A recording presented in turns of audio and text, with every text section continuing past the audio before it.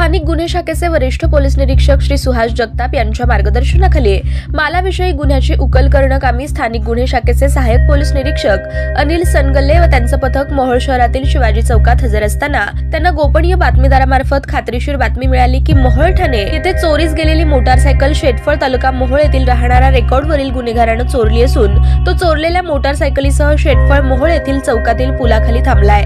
खात्रीशीर बातमी मिळाल्यानं सनगल्ले हे पथकासह मोहळेतील येथील शिवाजी चौकातून निघून शेटपळ येथे जाऊन बातमीप्रमाणे तेथील पुलाखाली थांबलेल्या इस्मास मोटारसायकलसह ताब्यात घेतलं. त्याच्या कब्जात मिळून आलेल्या मोटारसायकलची कागदपत्रांची मागणी केली असता उडवाउडवीची उत्तरं दिली.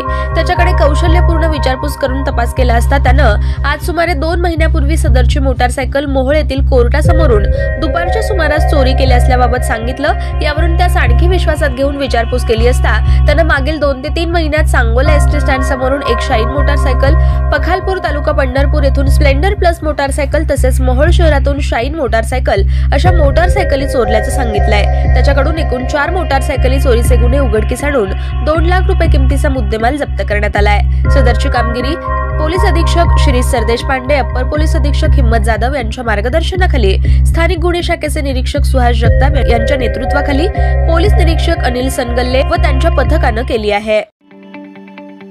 ताज्या बातम्या पाहण्यासाठी प्राईम महाराष्ट्र न्यूज चॅनलला सबस्क्राईब करा.